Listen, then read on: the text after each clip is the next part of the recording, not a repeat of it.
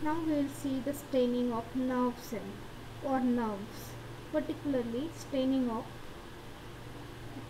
myelin.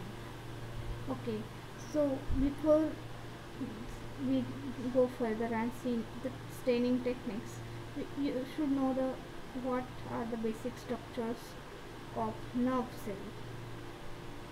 So first is H&E staining.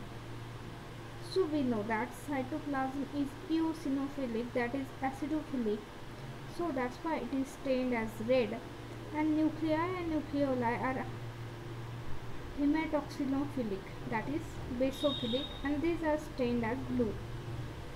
Next one is Nissl staining. Neuronal Nissl bodies which are the rough endoplasmic reticulum are stained purple using cresyl violet.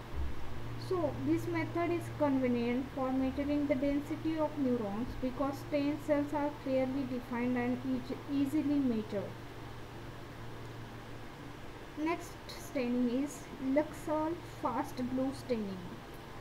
So myelin rich cerebral white matter is stained that particularly stains phospholipids which is the main constituent of the myelin sheath around nerve processes so it is stained as blue. Next one is KB staining.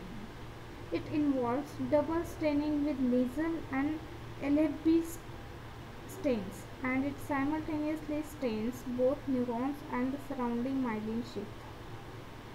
Next staining is Bodian silver staining.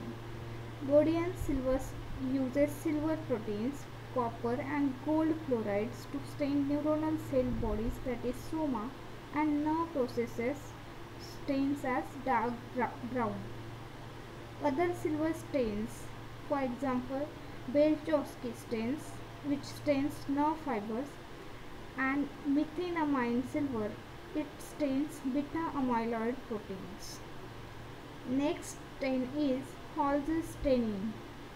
Fibrous components of astrocytes are stained purple with Holzer crystal violet.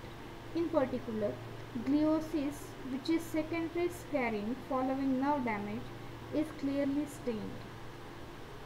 Next staining is GB staining.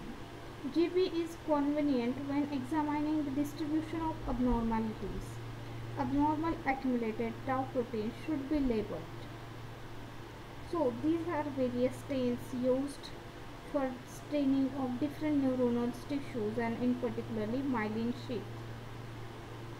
Thank you.